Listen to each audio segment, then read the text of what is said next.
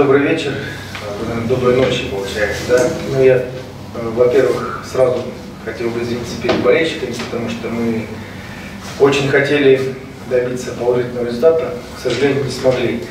По каким причинам? Ну, причин всегда может быть много. Я думаю, что провалили первый тайм, если касаемо игры.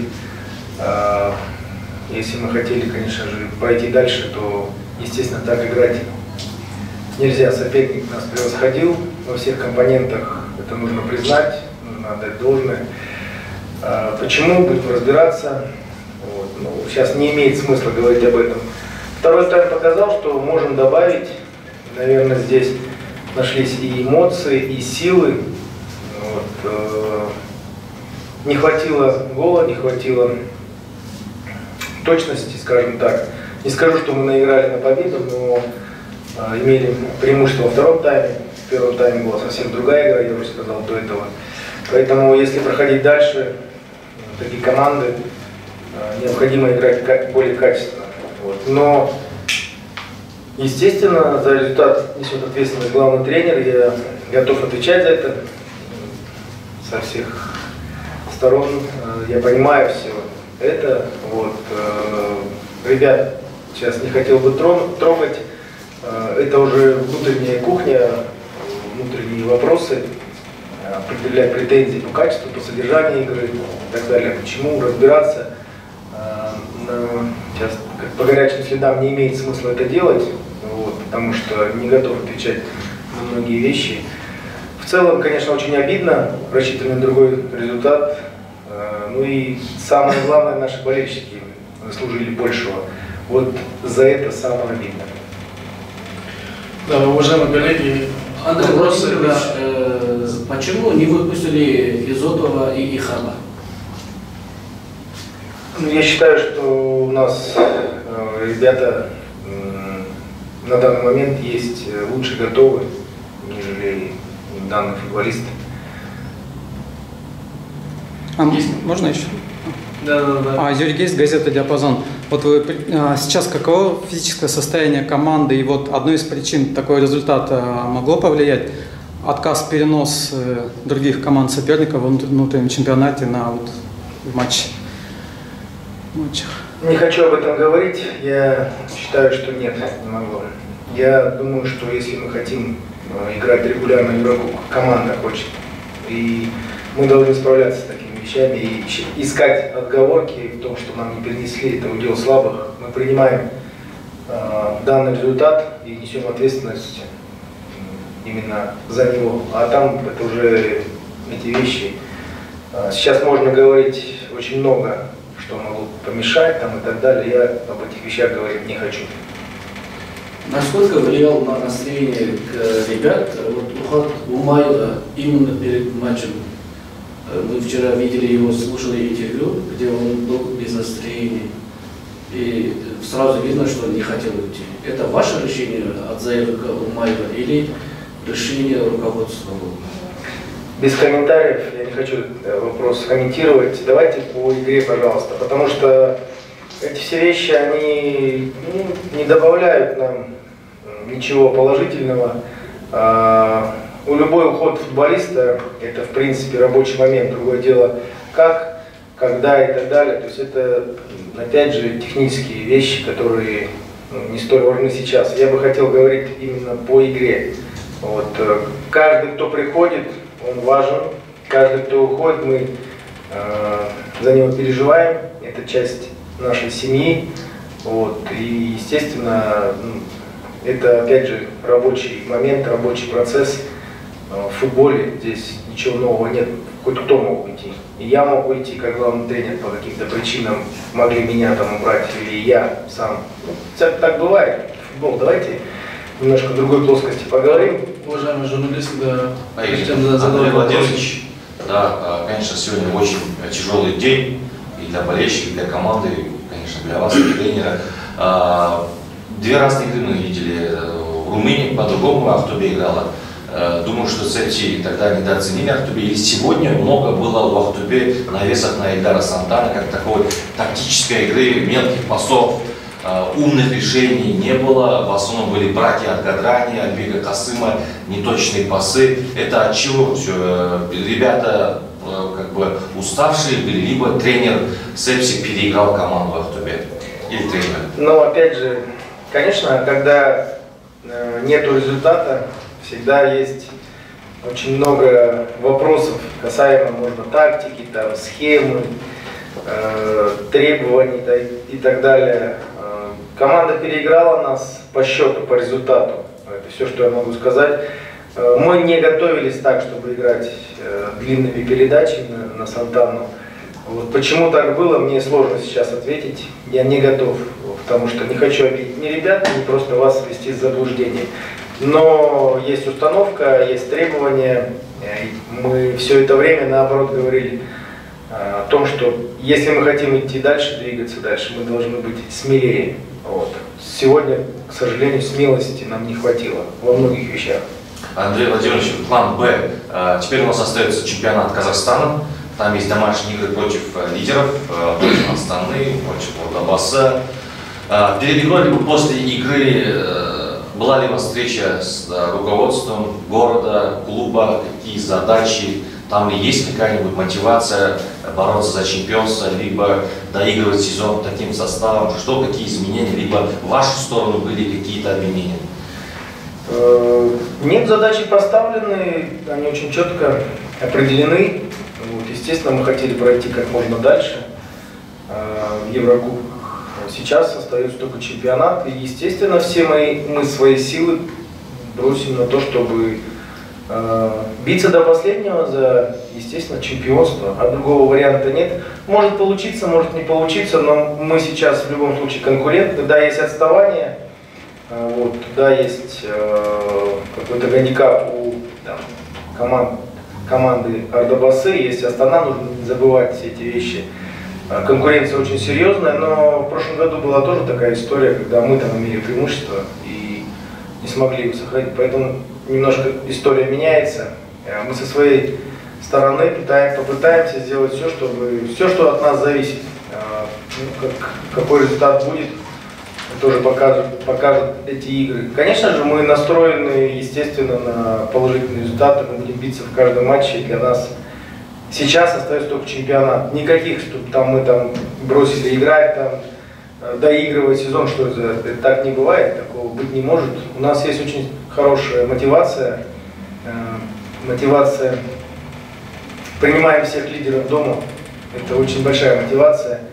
Вот. Э, в целом, в прошлый год движение вверх началось как раз после этих матчей, когда мы приняли э, действующего чемпиона Тобол, потом Астана, естественно. Поэтому мы с нетерпением будем ждать этих матчей, они очень интересные. Ну и, конечно же, задачи стоят, они обозначены, чтобы было понимание для всех.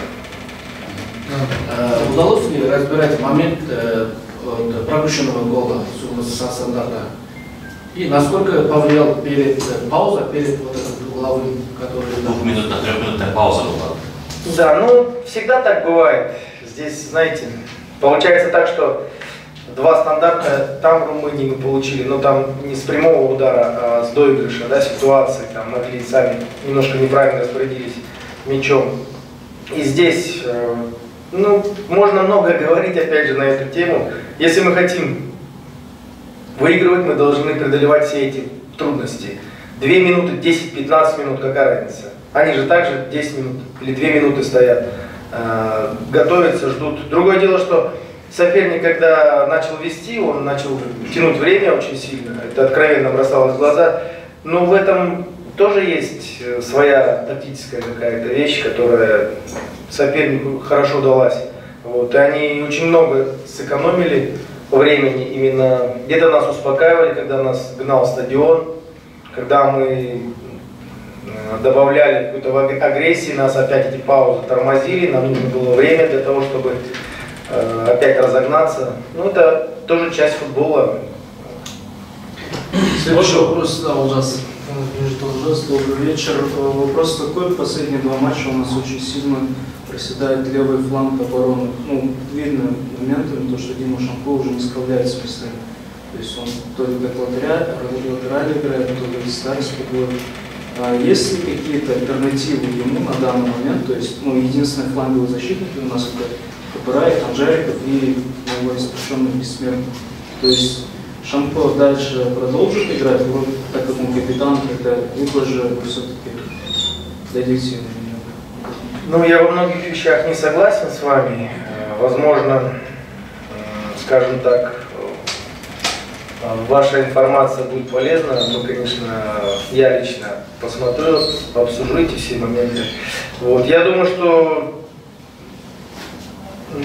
игрок с таким опытом, он необходим команде во всех отношениях. Это не значит, что он игрок стартового состава. Было время, когда он не играл. Вот. э, Альтернатива есть всегда.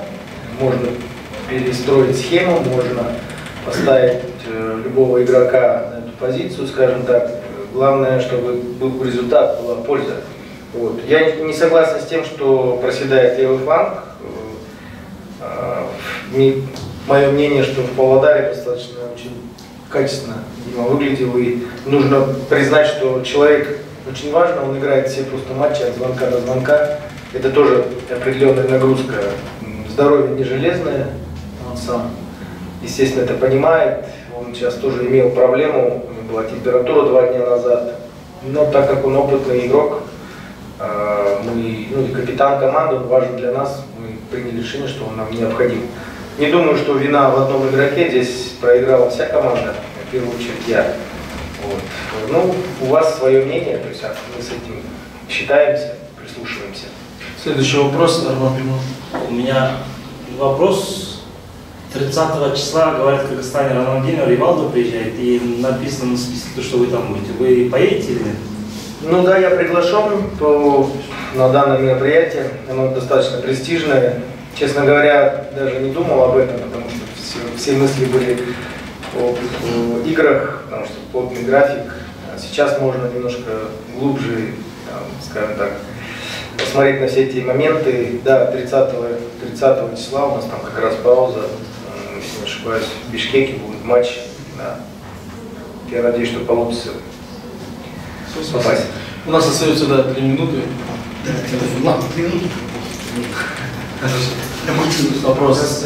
Артем Владимирович, меня зовут Азамат, и у меня вопрос по поводу нашей десятки и саморода Максима. Почему э, сегодня он принимал какие-то решения, особенности, когда у него были моменты для удара с его рабочей ноги, он принимал попытки ух- уходить в дриблинг под левую ногу, и очень часто терял мяч, выглядел неуверенно. Почему так?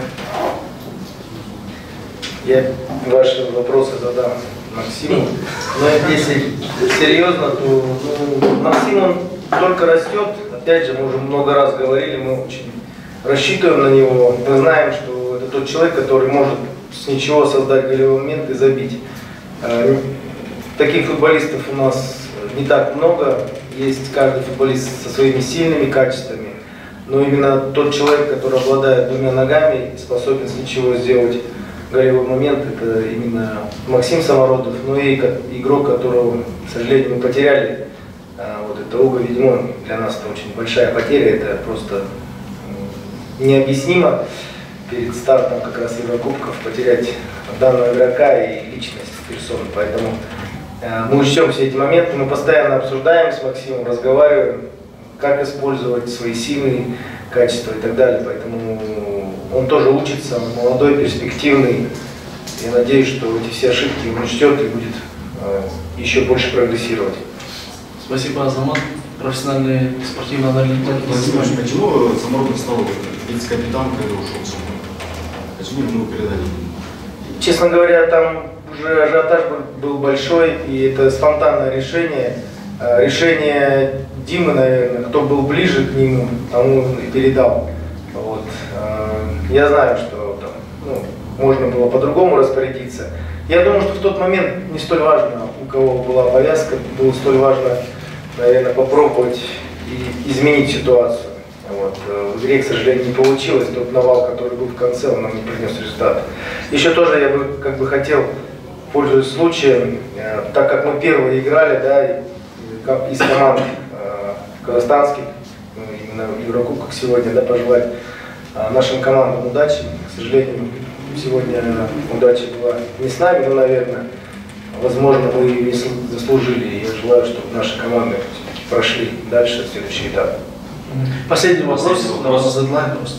Андрей Владимирович, а, как я слышал, вы как бы а, жаловались на состояние газона, особенно в вратарской линии.